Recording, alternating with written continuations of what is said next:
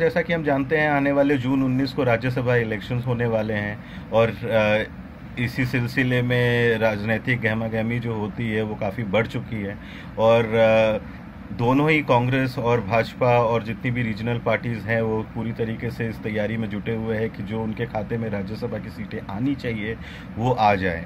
लेकिन इसी दौरान हमने ये देखा कि किस तरीके से भाजपा ने ये जो पूरा जो राजनीतिक पिच है, जो पॉलिटिकल पिच है, वो बहुत ही ज़्यादा एक तरीके से हाई कर दिया है। और और जस्ट राज्यसभा इलेक्शन से पहले हमने देखा कि किस तरीके से गुजरात में तीन कांग्रेस एमएलए ने रिज़ाइन कर दिया जस्ट राज्यसभा इलेक्शन से पहले।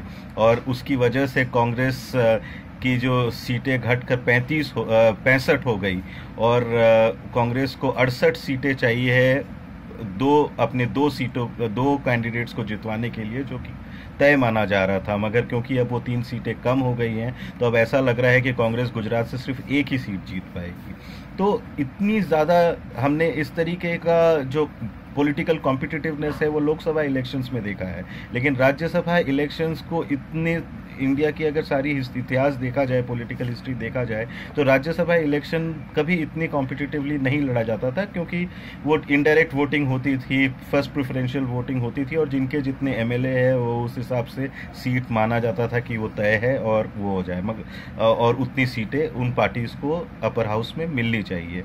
लेकिन भाजपा के आ, के शासन में नरेंद्र मोदी के शासन में राज्यसभा हर राज्यसभा इलेक्शन एक बहुत ही कॉम्पिटिटिव अफेयर हो गया। 2017 में हमने देखा था कि किस तरीके से लास्ट मोमेंट तक कांग्रेस के दिग्गज नेता अहमद पटेल को गुजरात में अपनी राज्यसभा की सीट बचाने के लिए काफ़ी ज़्यादा जोड़ तोड़ करनी पड़ी। ये ये इसलिए हुआ क्योंकि लास्ट मोमेंट पर नौ कांग्रेस एम ने उनके खिलाफ वोट कर दिया, भाजपा के कैंडिडेट को वोट कर दिया। तो ये राज्यसभा इलेक्शन भी इसीलिए बहुत ही ज़्यादा इंटरेस्टिंग हो गया है आजकल के ज़माने में। और अमित शाह और भाजपा के, का तो ये मानना ही है कि कि पार्लियामेंट से लेकर पंचायत तक हर चुनाव को ये ये जो आज की जो नई भाजपा है वो सीरियसली लेती है। और और इस, और राज्यसभा इलेक्शन उनके लिए इसलिए भी इम्पोर्टेंट हो जाता है क्योंकि अभी तक वो अपने लोकसभा के स्ट्रेंथ पर काफ़ी ज़्यादा पॉलिसीज़ और बिल्स पारित करवा रहे थे। तो जहाँ पे उनके लिए अपनी बिल्स और अपने पॉलिसीज़ को पास करवाना बहुत ही ज़्यादा आसान है। ऑलमोस्ट एनडीए भाजपा खुद ही 300 से ज़्यादा सीट पर है और एनडीए कुल मिलाकर देखा जाए तो दो तिहाई बहुमत के आसपास ही है। मगर जहाँ उनको पूरे पिछले छः सालों में प्रॉब्लम्स हुई हैं, वो है राज्यसभा। और राज्यसभा में उनकी मेजॉरिटी नहीं होने के कारण उनको हमेशा regional parties non NDA parties के साथ एक कंसल्टेटिव प्रोसेस में जाना होता है, जो कि एक तरीके से उनके लिए एक रोड ब्लॉक जिसको हम मानते हैं, वो है। और इसीलिए अगर अभी इस राज्यसभा इलेक्शंस के लिए देखा जाए तो वो भाजपा के लिए और भी ज़्यादा इम्पोर्टेंट है, क्योंकि पचपन वैकेंसीज हैं अभी। और पचपन जो मार्च में अनाउंस हुई थी और अभी चुनाव आयोग ने जून एक को ये कहा है कि पचपन के अलावा और छः सीटें, चार कर्नाटका में, एक अरुणाचल प्रदेश में और एक मिजोरम में, वहाँ की भी सीटें फिल होनी हैं, अभी वहाँ पे भी भरी जानी है। तो कुल मिलाकर देखा जाए तो इकसठ सीटों सीटों का ये मामला है और इसीलिए भाजपा और कांग्रेस और सारी जितने भी दलें हैं उसको बहुत ज़्यादा सीरियसली ले रही है। जो पचपन जो पहले की जो सीटें जो अनाउंस की गई थी, उसमें सैंतीस ऑलरेडी भरे जा चुके हैं। वो अनओपोज वहाँ पर इलेक्शन हो गए हैं। मतलब एमएलएस जितने थे, वहाँ पर तय था कि इसी उसी दल का वो राज्यसभा मेंबर बनेगा। तो वो सैंतीस ऑलरेडी इलेक्ट अनपोस्ट इलेक्ट हो चुके हैं। जो बाकी की जो 18 सीटें बचती हैं वहाँ पर पूरी तरीके से ये जो इलेक्टोरल कॉम्पिटिटिवनेस देखा जा रहा है और वही चीज़ हमने देखा अभी गुजरात में इस तरीके से हुआ। मध्य प्रदेश में भी ये जो राजनीतिक गर्मी है वो बढ़ती जा रही है और राज, राजस्थान में अशोक गहलोत ने यह एक्यूजेशन लगाया है कि उनके एम को किस तरीके से तोड़ने की कोशिश की जा रही है एक इलेक्शन राज्यसभा इलेक्शन के दौरान। और इसी कारण बहुत सारे गुजरात के एमएलए और राजस्थान के कांग्रेस के जो एमएलए हैं, उनको रिजॉर्ट में अभी बंद करके रखा गया है क्योंकि इलेक्शन में वो जाकर डायरेक्टली ताकि क्रॉस वोटिंग ना हो, ताकि हॉर्स ट्रेडिंग ना हो। और ये जो पचपन की अगर अगर जो 18 जो सीटें हैं और ये पूरे जो सीट हो तो उसमें अगर भाजपा का अगर नॉर्मल स्क्रिप्ट के हिसाब से इलेक्शन अगर हो तो उसमें भाजपा को करीबन आठ सीटें मिलनी चाहिए। तीन गुजरात में, दो मध्य प्रदेश में और एक राजस्थान, झारखंड और मणिपुर में। और कांग्रेस को उसी लिहाज से पाँच सीटें मिलनी चाहिए। लेकिन ये कंपटीशन में अब ये समझ में नहीं आ रहा है कि लास्ट मोमेंट पे अगर क्रॉस वोटिंग हो तो ये जो स्कोर है, ये इधर का उधर भी हो सकता है। और अभी अगर सब हिसाब से अगर हो तो बीजेपी को 11 सीटों का फ़ायदा होना है। और कांग्रेस को पाँच सीटों का फ़ायदा होना है। तो वो जो पूरा जो टैली है बीजेपी का, इन, ये इस चुनाव के बाद 86 हो जाएगा और कांग्रेस का 44 हो जाएगा। और 245 के हिसाब से अगर हम देखा जाए तो 122 123 होता है हाफ़ वे मार्क और बीजेपी एक तरीके से अपने आप को हाफ़ वे मार्क के काफ़ी करीब ले आएगी। और अगर एनडीए पार्टियों को मिला दिया जाए तो पूरी तरीके से वो हाफ़ वे मार्क के करीब होंगे। इसीलिए यहाँ पर भाजपा के लिए एक एक सीट अगर कोई भी एक सीट अगर राजस्थान में एक सीट एक्स्ट्रा गेन करते हैं या एक सीट गुजरात में एक्स्ट्रा गेन करते हैं तो उनके लिए ये बहुत बड़ा फ़ायदा होगा, क्योंकि पूरी तरीके से फिर एनडीए हाफ़ वे मार्क के एकदम करीब पहुँच जाएगी, या फिर उसको क्रॉस करने की भी उनकी ये ये एक तरीके से कामना है। तो आने वाले दिनों में हम देखेंगे कि जिस तरीके से अभी गहमा गहमी चल रही है, वो आने वाले दिनों में क्या स्वरूप लेता है। लेकिन ये बात तो तय है कि भाजपा अपने जो पूरी तरीके से जो मनी वाइज भी और मसल वाइज भी बहुत ही ज़्यादा डोमिनेंट है, वो कांग्रेस को खास करके इतनी आसानी से जो जितने वो सीट पाँच सीट जो जीतना चाह रहे हैं, वो इतने सी आसानी से वो पाँचों सीट जीतने तो नहीं देंगे।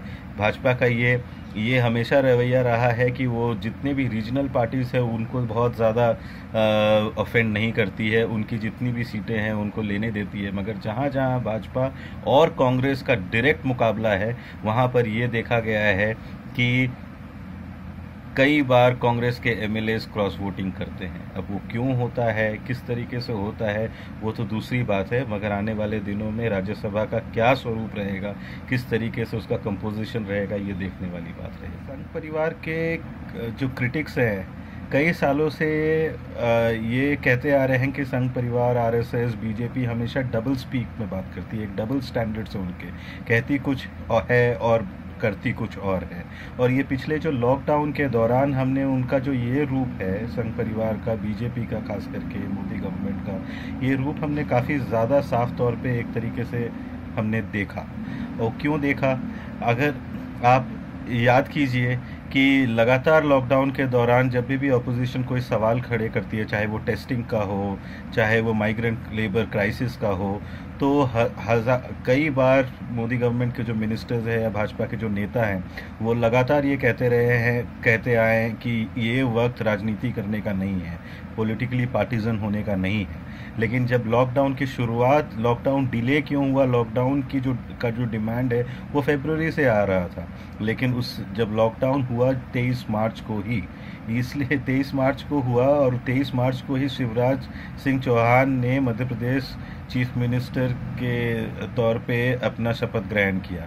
तो उससे पहले लगातार हमने देखा कि किस तरीके से ज्योतिरादित्य सिंधिया अपने बाईस एम को लेकर रिजॉर्ट में रहे और जब तक और फिर उसके बाद कमलनाथ की सरकार गिरी तो मगर जब तक भाजपा ने अपना अपनी सरकार मध्य प्रदेश में स्थापित नहीं की, तब तक प्रधानमंत्री जी ने हमारे लॉकडाउन की घोषणा नहीं की और जिस दिन शपथ ग्रहण हुआ, उसी दिन लॉकडाउन की घोषणा हो गई। तब हुई जब बहुत सारे स्टेट्स ऑलरेडी लॉकडाउन का कॉल दे चुके थे। और फिर लगातार दो महीनों में उन्होंने यही कहा कि राजनीति करने का ये वक्त नहीं है और एकजुट होकर सारे दलों को साथ मिलकर काम करने का ये वक्त है। अब जब लॉकडाउन खुल रहा है तो होम मिनिस्टर जो है हमारे गृह मंत्री, वो तीन वर्चुअल रैली उन्होंने किया। पॉलिटिकल रैलीज थी उन्होंने हालाँकि ये कहा कि ये इलेक्शन रैली नहीं है लेकिन वो जो तीन राज, राज्यों का जो चुनाव था उनका वो जो चॉइस था वो देखने लायक है कि बिहार वेस्ट बंगाल और उड़ीसा ये तीनों राज्य हैं जो बिहार में आने वाले इस साल नवंबर में चुनाव होने वाले हैं। और वेस्ट बंगाल वो स्टेट है जहाँ पर गृह मंत्री और सारे पूरे भाजपा की नज़र है कि वो अगले अगले साल जो चुनाव होने वाले हैं, वहाँ पर उनकी सरकार किसी तरीके से आए, उन्होंने काफ़ी अच्छा प्रदर्शन लोकसभा में भी किया था। और उड़ीसा भी वो है कि नवीन पटनायक की सरकार जब ख़त्म होगी, ये कहा जा रहा है कि सेकेंड लाइन ऑफ़ लीडरशिप नहीं होगी तो नवीन पटनायक के बाद कौन और वहाँ पर वो भाजपा अपने आप को अल्टरनेटिव स्थापित करने की पूरी भरपूर कोशिश में है। और और इन तीनों जगहों में अगर हमने देखा जाए जो उनका जो भाषण था, वो पूरी तरीके से राजनीति का राजनीतिक भाषण था। उन्होंने इलेक्शन की बात भी की कि वहाँ बिहार में दो तिहाई बहुमत से वो जीतेंगे और जाके वेस्ट बंगाल जो अपने लॉकडाउन अपने कोविड के केसेस को लेकर, ये कोरोना वायरस पैंडमिक को लेकर और साइक्लोन अम्फान को लेकर, इतनी तरीके से बहुत ही कमज़ोर स्थिति में है। वहाँ पर भी जाकर गृह मंत्री ने जो जो पॉलिटिकल डिवाइड एक तरीके से खड़ा किया। उन्होंने जो ऐसे ऐसे मुद्दों पे बात की जो कि पॉलिटिकली कंटेंशियस है, लगातार इन इन मामलों पे अलग अलग दलों में झगड़े होते आ रहे हैं अपोजिशन आता आ रहा है। उन्होंने राम मंदिर की बात की, उन्होंने ट्रिपल तलाक की बात करी, उन्होंने सीएए की बात करी, उन्होंने सर्जिकल स्ट्राइक्स की बात करी। तो ऐसा लग रहा था कि अमित शाह जी ने पूरी तरीके से राजनीति अब होना है, जैसे होता रहा है। पूरी घोषणा कर दी है और हालाँकि वहीं पर ऑपोजिशन को ये बोलते रहे कि ये राजनीति करने का वक्त नहीं है। तो हो, इस पूरी तरीके से अगर हम देखें, अगर कुल मिलाकर, और तो बिहार में भी उन्होंने पूरी तरीके से राजनीतिक भाषण दिया वेस्ट बंगाल में भी जाकर ममता पे अटैक किया और उड़ीसा में भी जाकर उन्होंने एक तरीके से अपने आप को अल्टरनेटिव की तरीके से दर्शाया। ये कहते हुए कि नवीन पटनायक जी ने अच्छा काम किया है, लेकिन उन्होंने अच्छा काम तभी वो कर पाए क्योंकि उनको नरेंद्र मोदी सरकार का पूरा समर्थन मिला। तो जब ऑपोजिशन करे, जब विपक्ष करे वही सारी चीज़ें तो वो पॉलिटिकली पार्टीजन हो जाता है। और अगर जब ये करें भाजपा करे तो वो नहीं होता है। और यही चीज़ हमने देखा। लगातार दो महीने में ये वो कहते आए हैं कि कमलनाथ की सरकार गिरने पे, के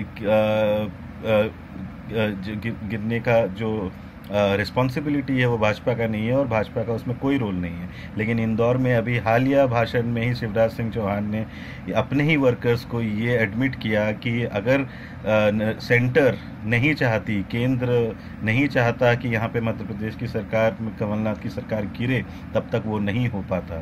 तुलसी सिलावत जी का नाम लिया, ज्योतिरादित्य सिंधिया का नाम लिया उन्होंने, कहा कि उनको मैंडेट मिला हुआ था सेंटर से कि यहाँ की सरकार गिराए और वो उनका पूरी तरीके से समर्थन करेंगे। और अभी जिस तरीके से राज्यसभा इलेक्शन में जोड़ घटाव चल रहा है और किसी तरीके से वो कांग्रेस के के हक की जो सीटें हैं, वो लेना चाह रहे हैं। पीसफुल तरीके से राज्यसभा का इलेक्शन जो होना था, वो अब कॉम्पिटिटिव हो चुका है। तो इस तरीके से ये हमें पता चल रहा है कि जो जो राजनीतिक जो पिच है, वो अब फिर से तैयार हो चुका है।